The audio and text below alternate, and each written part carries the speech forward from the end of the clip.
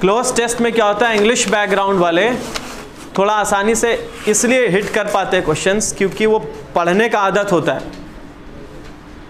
और हिंदी बैकग्राउंड वाले थोड़ा रीडिंग से बचते हैं। इसलिए थोड़ा सा मुश्किल होता है क्लोज टेस्ट क्योंकि ग्रामर बहुत ज़्यादा यहाँ आपको हेल्प नहीं करेगा, बहुत ज़्यादा नहीं हेल्प करेगा। ग्रामर तो हेल्प करेगा ही, लेकिन बहुत ज़्यादा नहीं अंडरस्टैंडिंग जो कॉम्प्रिहेंशन लेवल है आपका, वो ज़्यादा आपको असिस्ट करेगा इन, इस तरह के क्वेश्चंस को सॉल्व करने में। चलिए आते हैं क्वेश्चन नंबर वन में। तो चलिए शुरुआत करते हैं हम लोग क्लोज टेस्ट से। सबसे पहला क्वेश्चन लेते हैं क्लोज टेस्ट का। तो question number thirty six close test का मतलब क्या होता है? एक बात समझिए कि यहाँ जितने भी सारे ऑप्शंस हैं, वो कहीं ना कहीं सही हो सकते हैं। लेकिन क्लोज टेस्ट का मतलब ये है कि सबसे क्लोज कौन है? कौन ज़्यादा अप्रोप्रिएट है? तो उसके अकॉर्डिंग हमें ऑप्शंस को चूज़ करना होता है। क्लोज टेस्ट में सब लगेगा सही है। ये भी सही लगे ऑप्शन नंबर ए देखोगे, लगे हाँ ये सही है। ऑप्शन नंबर बी देखोगे, नहीं नहीं, ये ज़्यादा सही है। सी देखोगे, नहीं, ये भी सही हो सकता है। फोर भी सही हो सकता है, सब सही हो सकते हैं। कुछ कुछ ऐसे ऑप्शंस होते हैं जो बिल्कुल नहीं होगा। तो आप ऐसे भी इसको रिमूव कर सकते हो, या तो एट अ टाइम बस सीधे आंसर सेलेक्ट कीजिए, या फिर ऑप्शंस को रिमूव करना शुरू कीजिए। और क्लोज टेस्ट को सॉल्व करने का एक तरीका ये भी है कि सिर्फ़ एक लाइन पढ़ें और ऑप्शन में जैसे ही पहुँचे और ऑप्शन ढूंढना शुरू कर दिए। जैसे यहाँ से पढ़े आप each species has its special place और हैबिटाट अब जैसे 36 में आप पहुँचे और ऑप्शन देखना शुरू किए तो ऐसे नहीं बनेगा क्लोज टेस्ट क्लोज टेस्ट बनाने के लिए पूरा पढ़ लीजिए एक बार। रफली एक बार पढ़िए, क्योंकि आगे जब नेक्स्ट सेंटेंस आप पढ़ोगे तो बैक वाला ऑप्शन आपको आसान होगा चूज़ करने। ठीक है? ये कॉम्प्रीहेंशन को भी सॉल्व करने का एक अच्छा तरीका होता है, साथ ही साथ ये क्लोज टेस्ट को भी। और जो फिलर्स होते हैं डबल फिलर्स या सिंगल फिलर्स वो भी इस तरह के क्वेश्चंस को। पूरा सेंटेंस पढ़ने की कोशिश कीजिए। अगला सेंटेंस कहीं ना कहीं एक क्लू देकर जाएगा, जो लास्ट वाले आंसर को सॉल्व कर देगा। तो पहला क्वेश्चन ये है कि each species has its special place और हैबिटाट मतलब क्या ईच स्पीसीज मीन्स हर, क्या उसको बोलते हैं? स्पीसीज मीन्स प्रजाति एक तरीके से। का अपना एक स्पेशल प्लेस होता है और हैबिटाट हैबिटाट आप पढ़े होंगे स्कूलिंग में ही स्टैंडर्ड वन और टू के टेक्स्ट बुक में आप पढ़े होंगे अच्छे तरीके से। हैबिटाट प्रोसेस पढ़े होंगे हैबिटाट मीन्स व्हाट जो हमारा फेवरेबल प्लेस होता है। जो हमारा, जहाँ पे हम अडेप्ट करते हैं। अडेप्टेशन आप पढ़े होंगे। तो उसी से रिलेटेड है। तो हर एक स्पीसीज का अपना एक ख़ास प्लेस और हैबिटाट होता है। अब देखिए ऑप्शन आपको मिल रहा है कि एन राइट एन के बाद ऑप्शन है तो क्या होगा? फिर नेक्स्ट है bird watcher can look at तो सीधा ऑप्शन ना देखे, पहले थोड़ा सा पढ़ लो आप, कि a bird watcher can look at उसके बाद फिर से again space is over there उसके बाद फॉरेस्ट है मिडो है लेक है स्वैम्प और फ़ील्ड फॉरेस्ट पता है आपको? मिडो मीन्स वॉट घास का मैदान. हाँ हिंदी लिटरल लेक्सिकल मीनिंग देखेंगे तो वो चारा गाह का सेंस देगा. नेक्स्ट इज़ स्वैम स्वैम किसको बोलते हैं? स्वैम्पी एरिया बोलते हैं? मडी. दल दल वाला एरिया ठीक है? और फ़ील्ड या फिर नॉर्मल फ़ील्ड तो यहाँ देखिए each species has its special place और habitat and dash bird watcher can look at मतलब जो बर्ड वॉचर है मतलब हर एक स्पीसीज के बारे में बताया जा रहा है, लेकिन खासतौर से किसकी बात की जा रही है यहाँ? बर्ड की बात की जा रही है। ठीक है? तो a bird watcher can look at तो बर्ड वॉचर कैसा बर्ड वॉचर ऑप्शंस में एक्सपीरियंस एक्सपर्ट एडवांस और एक्टिव क्या आपको सही लग रहा है? एक्टिव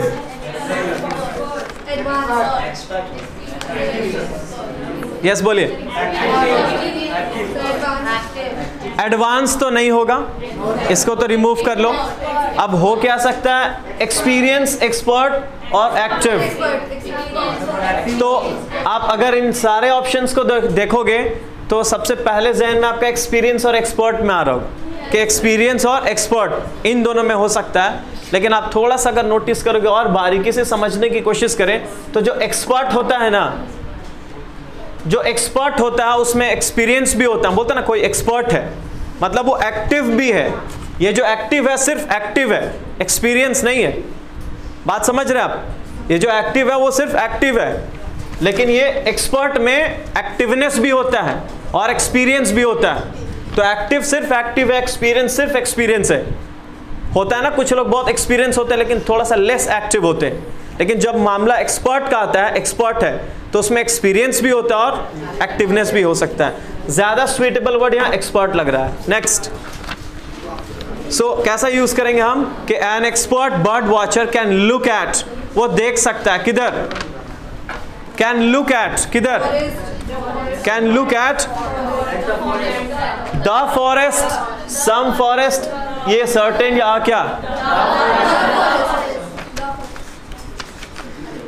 देखिए, यहाँ सबसे पहली बात के रिमूव करो। सम तो होगा नहीं, क्योंकि अगर सम होता तो फॉरेस्ट होता प्लूरल में होता ना। फॉरेस्ट होना चाहिए मिडोज होना चाहिए लेक्स होना चाहिए, ऐसा होना चाहिए। तो यहाँ सबसे पहला चीज़ कि आपका सम होगा नहीं। दूसरा चीज़ सर्टेन सर्टेन यहाँ सूट करेगा? क्योंकि यहाँ श्योरिटी नहीं है। ठीक है ना? यहाँ क्या लिख रहा है कि an expert bird watcher can look at वो देख सकता है किधर? एक जंगल में राइट? हर एक स्पीसीज का अपना अपना एक खास प्लेस होता है। जैसे अगर कोई डक है तो वो अपना उसका एक एरिया होता है। क्लियर है? अगर कोई क्रोकोडाइल है तो उसका अपना एक एरिया है। तो क्रोकोडाइल को हम जंगल में नहीं ना ढूंढेंगे। हम तो उसको पानी में ढूंढेंगे ना। तो वही चीज़ है कि वो देख सकता है एन एक्सपर्ट बर्ड वॉचर कहाँ कहाँ देख सकता है। तो ये सर्टेन सर्टेन इसलिए नहीं होगा ना, क्योंकि यहाँ श्योरिटी नहीं है। इसलिए सर्टेन हम यूज़ नहीं करेंगे। सम तो होगा नहीं सर्टेन होगा नहीं। अब रहा सवाल द का और अ का। इन दोनों में अगर हम इसको रिमूव करेंगे ऑप्शन तो द भी डेफिनेट चीज़ों को बताता है। और यहाँ बिल्कुल डेफिनेट नहीं है। हर चीज़ के लिए अलग अलग है ना? तो इसलिए यूज़ किया जाएगा अ ज़्यादा स्विचेबल है कि अब an expert bird watcher can look at a forest ठीक है, वो सब के लिए हो जाएगा। A forest a meadow a lake a swamp और अ फ़ील्ड एंड आगे देखिए। तो राइट आंसर क्या है? Next thirty eight thirty eight में क्या होगा? And almost exactly what birds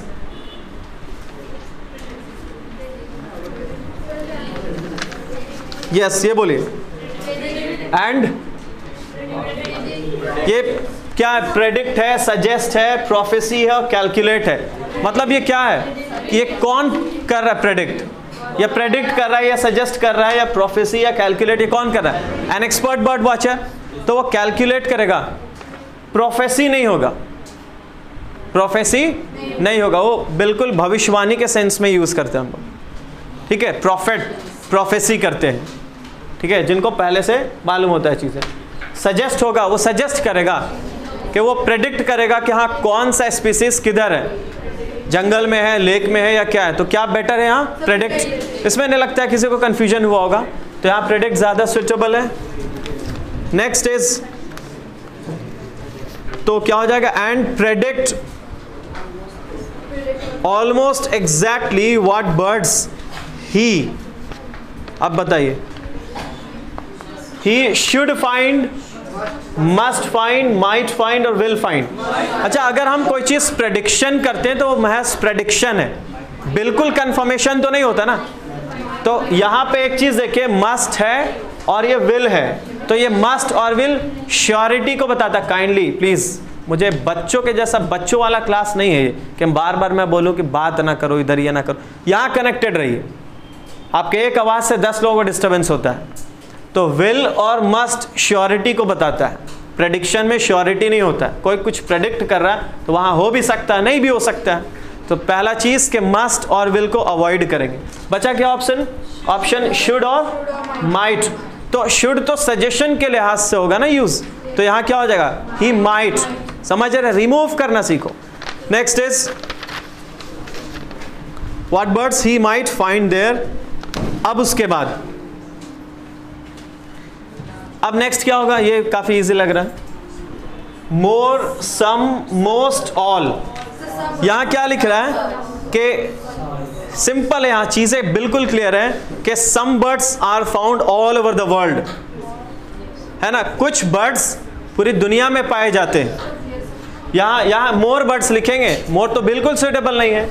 all अगर लिखेंगे तो all birds found all over the world नहीं ना? Some birds found all over the world next क्या है कि some birds are found all over the world मतलब कुछ पक्षी, है ना? कुछ बर्ड्स पूरी दुनिया में पाए जाते हैं। अदर्स ठीक है? मतलब दूसरे क्या? तो दूसरे में देखिए फिर। दूसरे क्या? कीप एंट्रस्ट कन्फाइन और इन्वॉल्व सेंटेंस पढ़िए आगे, तब समझ में आएगा। अभी तक मेरे को नहीं समझ में आया। अभी आगे पढ़ते तब समझ में आएगा कि other dash themselves to certain areas कुछ खास मतलब क्या है ना कहना ये चाह रहा कॉन्ट्रास्ट है सेंटेंस में कि कुछ बर्ड्स पूरे दुनिया में पाए जाते हैं लेकिन कुछ सर्टेन एरियाज़ में होते हैं। तो सर्टेन एरियाज़ में क्या? मतलब सर्टेन एरियाज़ में interest confine involve certain areas में अपने आप को इन्वॉल्व कर रखते हैं। इन्वॉल्व नहीं होगा स्विचेबल नहीं है यहाँ। ठीक है? इंटरेस्ट तो यहाँ देखिए लिखा हुआ होगा आगे कि देमसेल्व्स आपको मालूम है कि कीप के बाद भी देमसेल्व्स आता है और कन्फाइन के बाद भी देमसेल्व्स आता है। ठीक है, दोनों हम लोग यूज़ करते हैं। तो यहाँ पे कीप का सेंस जिन जिन को ऐसा लग रहा है कि कीप होगा तो एग्जैक्टली exactly आप गलत सोच रहे हो। इसलिए ना, क्योंकि कीप इसलिए नहीं होगा कि वो अपने आप कीप मतलब क्या? अपने आप को रखना और कन्फाइन का अगर जिसको एग्जैक्ट मीनिंग मालूम होगा तो पूरे ऑप्शन देखने का मतलब ही नहीं बनेगा। एक बार में आप लिखो, क्योंकि कन्फाइन का स्ट्रेट अवे मतलब होता है कि कुछ एरियाज़ में अपने आप को सीमित रखना। तो कुछ पक्षियाँ जो पूरी दुनिया में, पूरी दुनिया में पाए जाते हैं, और कुछ कैसे है कि कुछ सीमित एरिया में अपने आप को कन्फाइन करते हैं, सीमित रखते हैं। समझ रहे सर्टेन रीजन में अपने आप को सीमित रखते हैं कीप नहीं। यहाँ कीप सुटेबल नहीं होगा। नेक्स्ट इज़ स्टिल फिर से देखिए, फिर से कॉन्ट्रास्ट आ रहा है। Themselves to certain areas next है, still, dash migrate from one country to another ये तो और इजी ये ऑप्शन देखने का ज़रूरत नहीं पड़ेगा, उम्मीद है। सम या अदर्स फ्यू या ऑल फिर से क्या लिख रहा है? स्टिल मतलब फिर भी माइग्रेट करते एक देश से दूसरे देश। कितने? एग्जैक्टली सम क्लियर है? स्टिल सम माइग्रेट मतलब कुछ माइग्रेट करते हैं एक देश से दूसरे देश। किस? In dash in search of warm and मतलब किसकी तलाश में? देखिए यहाँ पे, यहाँ लिखा हुआ है from one country to another मतलब कुछ माइग्रेट करते हैं एक देश से दूसरे देश में। आप सुनते होंगे हजारीबाग में साइबेरियन बर्ड्स आते हैं। ठीक है? तो उधर से माइग्रेट करके इधर आ जाते क्यों? ठंड पड़ता है तो इधर आ जाते हैं। क्यों? हम लोग को जब ठंड लगता है तो किधर जाते हैं? धूप में जाते हैं ना? सनलाइट में जाते हैं। क्यों? In search of warmth got it the point तो यहाँ ऑप्शन क्लियर कर दिया। आगे वाला जो लाइन है इन सर्च ऑफ़ वार्मथ तो गर्मी की तलाश में माइग्रेट करते हैं। तो कहाँ से माइग्रेट करते हैं और कब माइग्रेट करेंगे? विंटर में ऑब्वियसली तो यहाँ क्या हो जाएगा? Some migrate from one country to another in winter यहाँ दिया ऑप्शन इन विंटर या इन समर या स्प्रिंग या आउटम मतलब गर्मी के मौसम में माइग्रेट कर जाएँगे गर्मी के लिए। ऐसा तो नहीं होगा जाड़े के मौसम में ना। जाड़े के मौसम मौसम में माइग्रेट करेंगे। किसके लिए? इन सर्च ऑफ़ वार्मथ और आगे भी चीज़ है कि in search of warmth and what फिर डैश है in search of warm and yes seeds crops fruit और फ़ूड ऑब्वियसली फ़ूड ये सिंपल था. नेक्स्ट और क्या लिखा हुआ? Warm and food and then return और फिर वो वापस लौटते हैं कब? इन स्प्रिंग चलिए और भी सर्टेन कर दिया कि जो आपका पिछला ऑप्शन है वो बिल्कुल सही था। क्योंकि जैसे जाड़े के बाद क्या आता है? सीधे गर्मी नहीं आता ना? स्प्रिंग सीज़न मतलब ना ज़्यादा ठंड, ना ज़्यादा गर्मी। तो जैसे स्प्रिंग सीज़न आता है, उस वक्त वो लोग लौटना शुरू करते हैं। लौटते हैं। And then return in spring dash the season is favourable when the season is favourable okay done देखिए क्लोज टेस्ट में क्या होता है? स्ट्रेट अवे बता दे रहा हूँ।